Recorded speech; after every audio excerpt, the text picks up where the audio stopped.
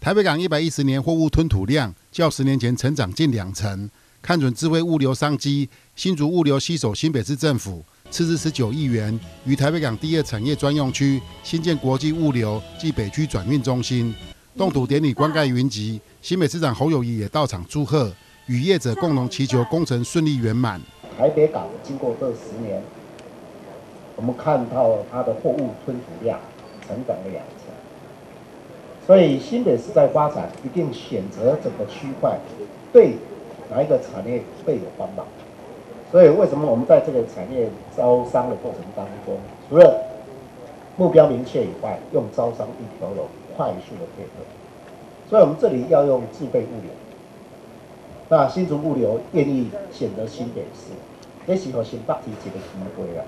新竹物流董事长许玉瑞表示，国际物流暨北区转运中心规划新建地上三层，总楼地板面积约六千一百一十平，预计创造五百个就业机会。未来全栋将导入智慧型输送设备，采全世界顶级自动化货物分拣系统，创造超过五倍的货件处理效能。物流是要朝向 AI、朝向智能化来发展。那投入大量的自动化设备以及高现代感的建筑物呢？过去是一个小时多少？六千件，未来一个小时多少？三万件哈！再一次感谢我们侯市长、我们的金发会啊，还有我们地震局相关哈，还有我们新北市相关，在这一次能够大力的协助我们来促成这个事情。